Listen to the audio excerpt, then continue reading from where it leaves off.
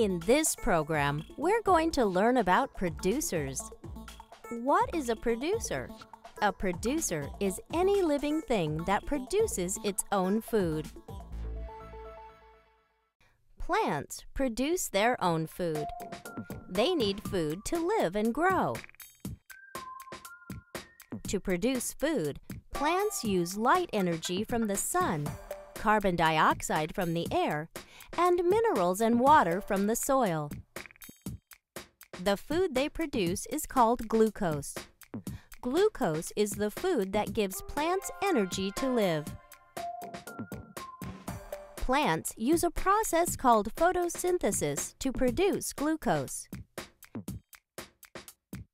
In photosynthesis, the plant absorbs energy from the sunlight, water, and carbon dioxide. Plants use photosynthesis to get energy. This is important because every organism or living thing needs energy to live, grow, and change. All organisms get energy from food. To better understand how organisms get energy, we use a food chain. A food chain shows the relationship between the plants and animals in an ecosystem. All food begins with the sun. The sun provides energy for everything on our planet. Plants are producers. Producers are at the beginning of a simple food chain. Plants get energy from the sun. Some animals eat plants.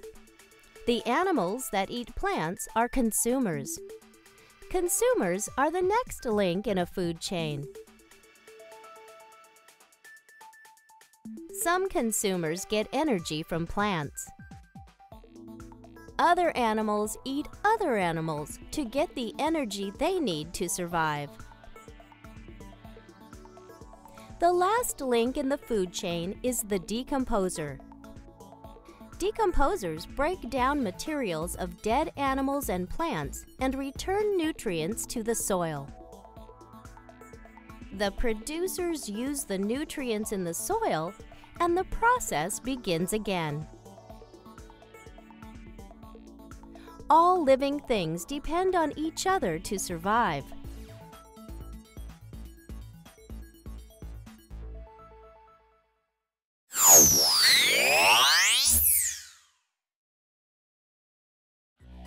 Now that you better understand producers, think about this. Name three producers that live around your neighborhood.